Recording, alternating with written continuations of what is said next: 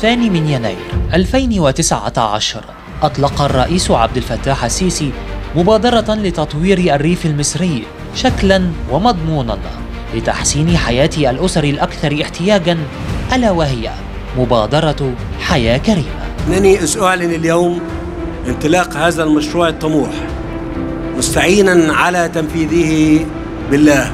حياة كريمة دي الحلم.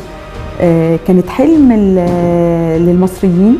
آه مجموعة شباب حلموه آه وكان عندهم أمل إن هم يغيروا في البلد ويخلوا كل المواطنين عندهم نفس الفرصة في الحياتية وكفاءة الحياة. الجميل في الموضوع إن مجموعة الشباب دي اتفاجئوا إنه في قيادة سياسية فعلا آه سمعت لهم فتحت لهم بابها.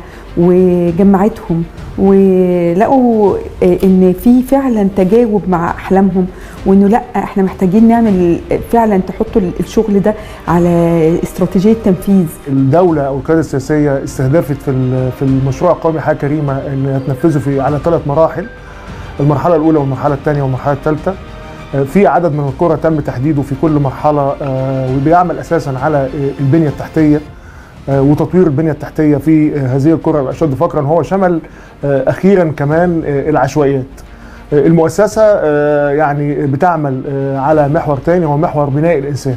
خلينا نقول الوعي المجتمعي خلينا نقول الوعي الصحي خلينا نقول الوعي النفسي خلينا نقول الوعي الرياضي. 45 ألف متطوع بيشتغلوا على الأرض للارتقاء بالمعيشة المواطن وتوفير حياة كريمة ليه في كافة المجالات. بنقدم ده من خلال قطاعات مختلفة بتشتغل عليها المؤسسة بتغطي الدعم في مجال التعليم ونشر الثقافة والوعي.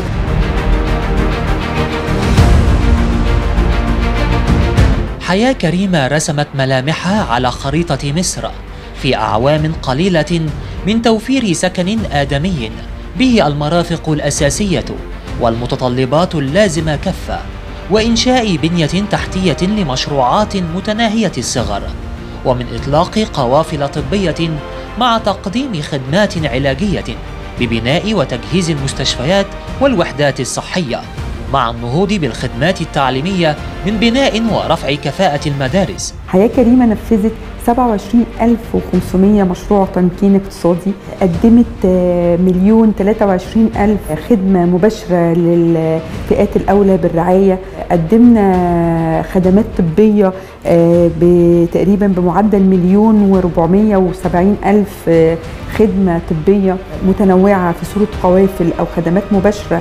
صورة عمليات أو تحويلات أو توفير فحوصات مختلفة. الحمد لله حياة كريمة كمان شاركت في في مشروعات صكوك الأضحية ووزعنا على أهالينا حوالي 130 ألف كيلو لحمة في الفترة دي. غير إن إحنا عملنا كمان تقريبا 38 ألف كيلو بعدها في الفترات اللي ما بعد عيد الأضحى.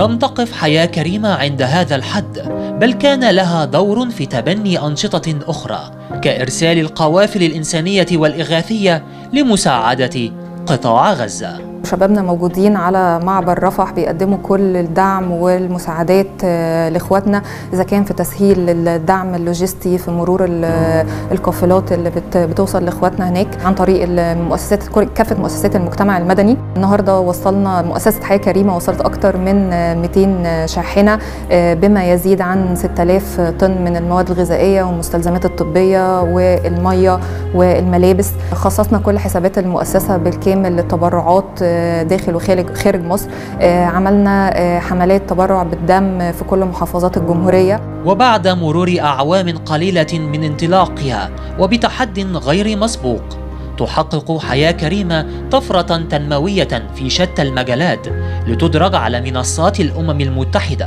كأحد أفضل الممارسات العالمية لأهداف التنمية المستدامة. البرنامج الإنمائي للأمم المتحدة يعني هو قال في إحدى تصريحاته أن ده أكبر مشروع عمل أهلي تنموي دوليا وهو مشروع القومي حياة كريمة.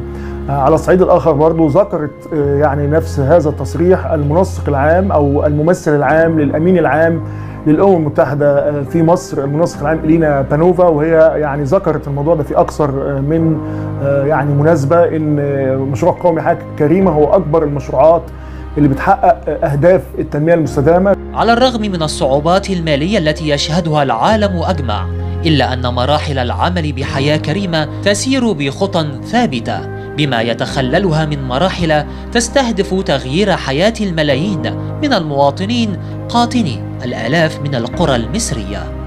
في نسب إنجاز في في بعض المجالات والقطاعات.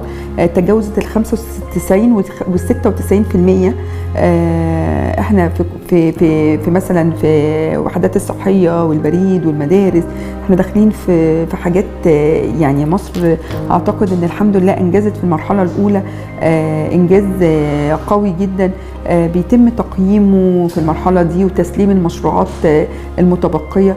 حياة كريمة ليست مجرد اسم لمبادرة رئاسية أو مؤسسة خدمية، بل هي عمل مستمر وفكر نابع من جهود الدولة والقيادة السياسية نحو النهوض بالريف المصري.